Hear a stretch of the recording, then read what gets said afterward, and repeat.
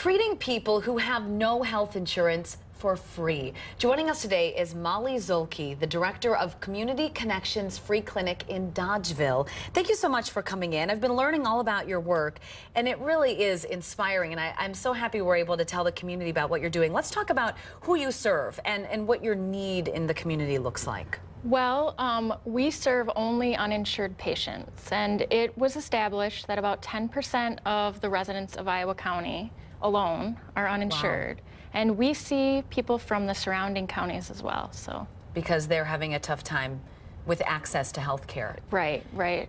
So this is all volunteer run. I mean, you have one paid staff person, but everybody else is a volunteer. Yes. Doctors, have, nurses. Exactly. We have 90 plus volunteers. Every Tuesday and Thursday night, we have 10 to 12 volunteers on staff there. Nurses, lab techs, lay people, it takes a village. So and we're looking at some images here of the work that's being done.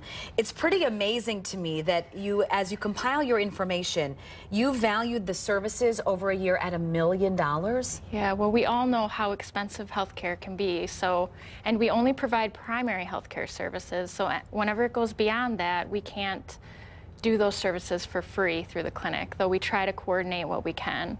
But yes, it's a huge value to the community. And we're talking how many hours donated for these folks over the year? Well, I guess I can't estimate that. We're open from 4 to 8 on Tuesdays and Thursdays, and we do countless other. We run a diabetes support group during the week, blood pressure wow. checks, coordinate all medication refills, all the things that a normal clinic does. If this touches anyone who's watching and says, I, I want to support this work that's being done, what can they do to help? Well, one of the reasons I'm here is because our auction is coming up on April 27th from 6 to 9 at the Deer Valley Lodge in Barneveld. So that would be a great thing. Check out our website at ccfcwi.org to register for that auction, um, or you can find us online and donate right there.